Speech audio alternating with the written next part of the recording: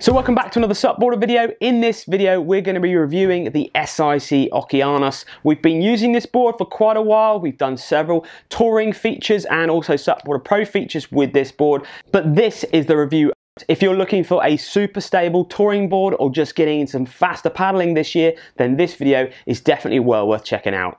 So the full specifications for this board we've been testing. This is the 14 foot version by 28 inches wide. It comes in a 305 litres in volume. It weighs 14.6 kilograms when we weighed it. It comes as standard with the SIC full carbon race fin and it retails at 1,695 pounds, 1,699 euros or 1,899 dollars. There are a few other sizes in the Okeanos range. They make a 12 6 by 29, a 12 foot 6 by 27, and an 11 foot by 28.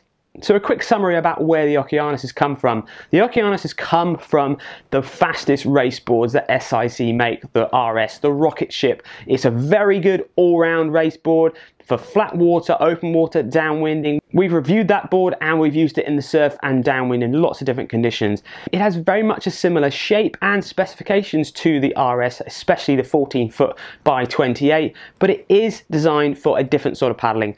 This is the touring, fast cruising side of the market. The RS really is still aiming the more performance, fast paddling. And looking at the materials of this board, this is the glass composite plus Innegra. Basically, Innegra is a very good glass that can take impact resistant very well. A lot of brands are putting it in their boards now, and it is a very strong material to put into the board.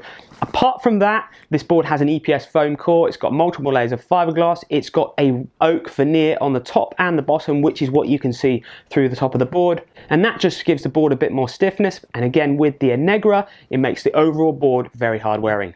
So let's have a look at the fittings you get on this board, then move on to the shape and then talk about what it's like on the water. So the fitting straight away, you've got a nice wide EVA deck pad right to the back of the board and it's filled right out to the side of the board as well. It gives you loads of area to stand and obviously if you're trimming up and down the board, it's really nice that it's pretty much everywhere.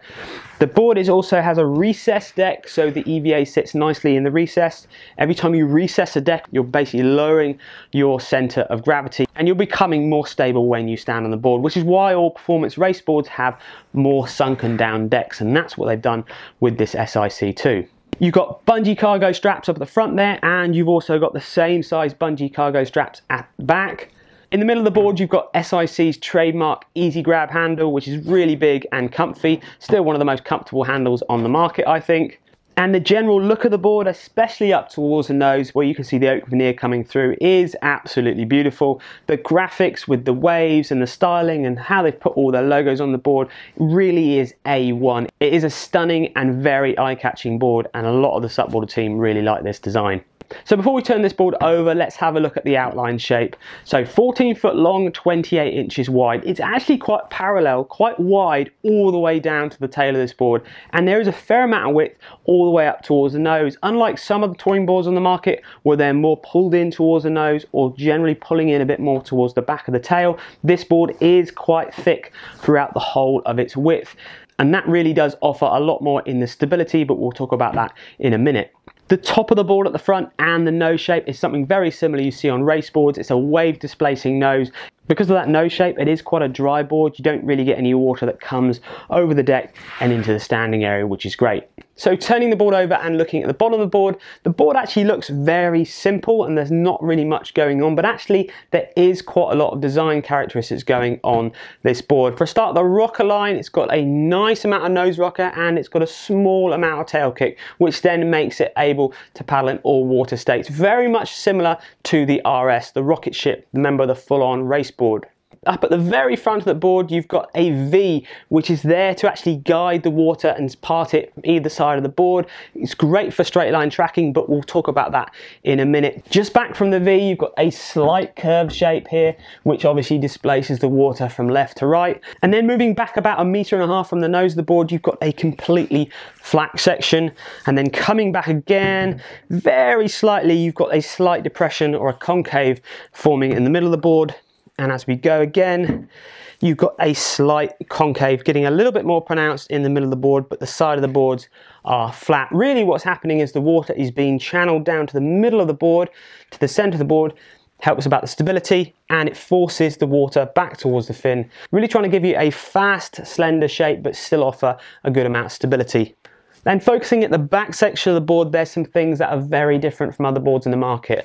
For a start, it's got quite a big square tail that's there to help the water release off the back of the board really smoothly and not slow you down at all. Obviously, because of that square tail, you have more width at the back of the board there, which again helps with the stability.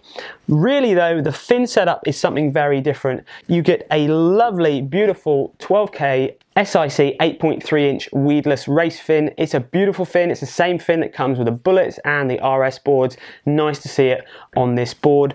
And also they fitted the board with FCS2 fin boxes at the sides of the boards. That is a really neat feature. So if you're running in shallow water, you can take out the center fin. You could use maybe two little stubby eight centimeter fins, four inch fins on the side there if you're running in shallow water. Or if you want to, you can even run it as a twin fin and not have a center fin at all. It's great for experimenting, playing around, gives you that option, and also using some of your standard surf fins in a touring fast cruising board.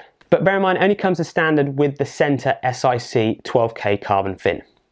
So putting all that together, what does it paddle like on the water? Well, one thing that really comes out when we're paddling this is how easy and comfortable this board is to paddle. I think generally because it's 28 wide and it's quite thick, quite wide all the way towards the tail, it offers you that great amount of stability. It's not the fastest of touring boards because it isn't pulled in towards the tail, so you have got a little bit more drag going back towards the board, but they have given you a nice square tail to release the water as much as possible. But being a super fast board isn't really the be all and end all, especially when you're talking about touring and putting some weight on the board. Stability is a really important thing, and because it's nice and stable and it's still got some width up there at the nose, it can take a large amount of weight. Again, because of that wider tail, it's really easy to move around the board. It's great for your step back turns or maybe even walking up and down the board to get into downwinding. And also it's very easy to paddle in a straight line. You haven't really got to think about it. And this is because of a few reasons. One, because of the parallel rails going all the way back to the squarer tail, but really it's to do with the nose, the V under the nose there. That V is a bit more of a guide. It, it plants in the water, keeps it very straight and true and tracks you in a straight line, especially in the flat water conditions. Very easy to keep going and tracking on those long distance flat water paddles.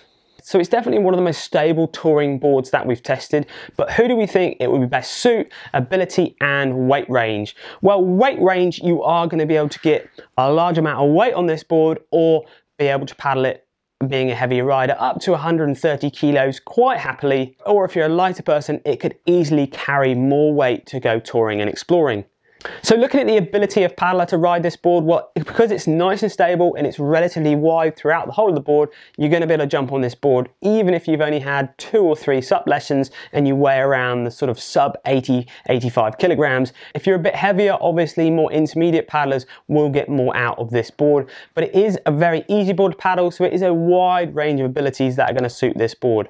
What you're going to use it for, this is where it gets quite interesting because obviously it's designed for touring and it is going to be able to take you touring.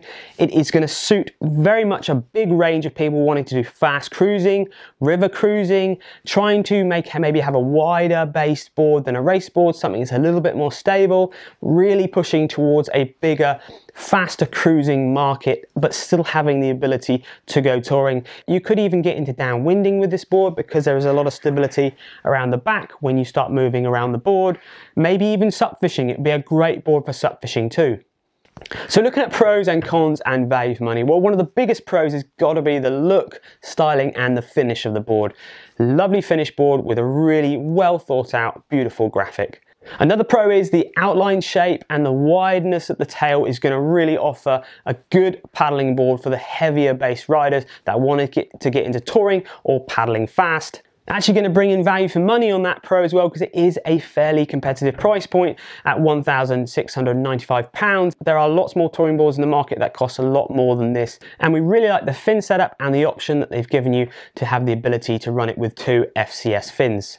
And looking at cons, well the bungees at the front and the back are relatively well placed. Maybe the back one could be further forward, but it's a shame they're not just a little bit bigger. It's not a shame there's not one more attachment here, so you could have maybe six attachments instead of four attachments at the front there to get a bigger bungee in there so you could put more cargo because this board can carry quite a lot of weight. So that is one of the negatives. Another thing that I've heard a few people talk about is the weight of the board. Now actually this is it's definitely not a lightweight board at 14.6 kilos, but you've also got to bear in mind, we have tested other touring boards from other brands and they've been over a kilo heavier than this. Okay, so it's not a light, lightweight board by any means, but it's not the heaviest board in the market. And bear in mind, this is a big board. This is a 14 foot board by 28. It's got a lot of thickness, it's got a lot of volume, and there's a lot of materials in it. So it isn't the lightest of boards, but it isn't also the heaviest of boards either. But another thing you need to be aware of when you buy this board, it could be a con, but it's more of an observation, is that the nose shape of this board, it works really, really well on flat water. Because of that V right under the nose of the board, it makes the board track and travel in a straight line really easily. The downside to having a more of a pronounced V right at the front of the board is that if you're paddling maybe in chop or off wind, you're not paddling dead into wind or away from the wind, the nose of the board can catch and wants to ride into the bump or away from the bump. And it can make controlling the board in choppy conditions a little bit harder. The way to sort of fix that and make you be able to paddle in choppy conditions is to trim yourself around the board to bring the nose up a little bit. Opposed to some more all-water race boards like the RS, they haven't got that V under the nose. So there, if you want to trim and pull the nose across the wave or across the water, it doesn't catch or dig in. The downside then to something like the RS is it isn't as easy to paddle in a straight line. So that's definitely something to be aware of. If you're paddling this board in flat waters, lakes, canals, estuaries, it's going to be a beautiful board to paddle all of the time. If you're using it in more open water states, you're going to have to trim the board a little bit more to bring the nose up and it will be a little bit easier to paddle because of that. It's just an observation, but it's definitely something you need to be aware about if you're going to buy this board. So I hope that SUP board review has helped you if the SIC Okeanos is the board for you. It's a beautiful board that is going to suit a lot of people and it's going to get a lot of people on the water and get them into touring and exploring, which is absolutely fantastic. If you're starting to get into touring, make sure to check out Will's video series about touring. And also I'll be doing a bit more on this board in the SUP Boarder Pro video. And remember, if you're looking to buy a board and you need to find a trusted retailer, check out our SUP Boarder Trusted Retailer page. And thank you very much for sending us all your trusted retailer recommendations. It's great to hear who you think the best shops are all around the world. Keep an eye on YouTube, check out SUP Boarder Mag, of course, and also SUP Boarder Pro. We'll see you next time with another video. Thank you very much.